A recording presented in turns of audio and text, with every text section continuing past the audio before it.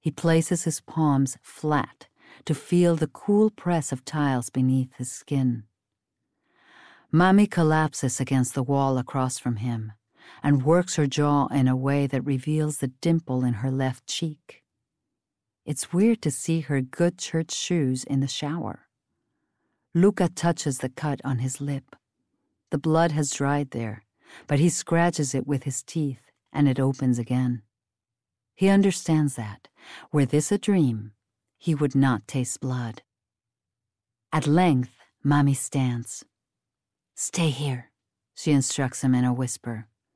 Don't move until I come back for you. Don't make a sound. You understand? Luca lunges for her hand. Mommy, don't go. Mijo, I will be right back, okay? You stay here. Mommy pries Luca's finger from her hand. Don't move, she says again. Good boy.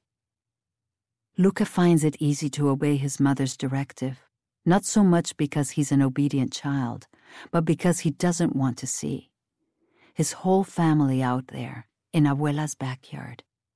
Today is Saturday, April 7th, his cousin Jennifer's quinceañera, her 15th birthday party. She's wearing a long white dress. Her father and mother are there. Tio Alex and Tia Yemi, and Jennifer's younger brother, Adrian, who, because he already turned nine, likes to say he's a year older than Luca, even though they're really only four months apart. Before Luca had to pee, he and Adrian had been kicking the balón around with their other primos. The mothers had been sitting around the table at the patio, their iced palomas sweating on their napkins. The last time they were all together at Abuela's house, Jennifer had accidentally walked in on Luca in the bathroom, and Luca was so mortified that today he made Mommy come with him and stand guard outside the door. Abuela didn't like it.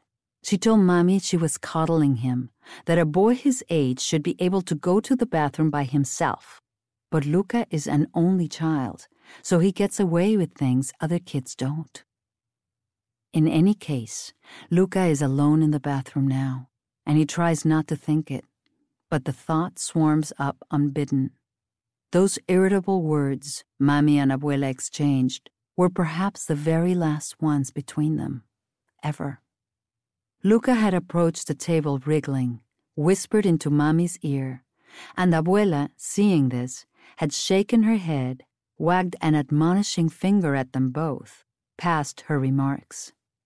She had a way of smiling when she criticized, but Mommy was always on Luca's side. She rolled her eyes and pushed her chair back from the table anyway, ignoring her mother's disapproval. When was that? Ten minutes ago? Two hours? Luca feels unmoored from the boundaries of time that have always existed. Outside the window, he hears Mommy's tentative footsteps the soft scuff of her shoe through the remnants of something broken. A solitary gasp, too windy to be called a sob.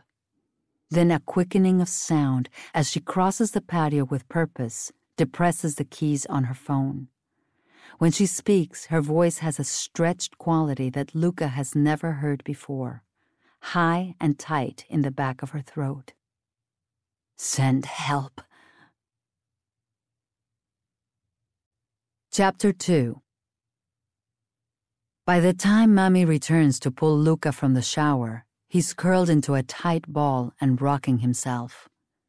She tells him to stand, but he shakes his head and rolls himself up even tighter, his body flapping with panicked reluctance.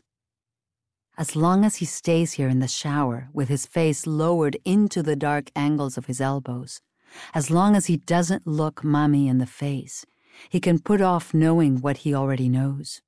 He can prolong the moment of irrational hope that maybe some sliver of yesterday's world is still intact.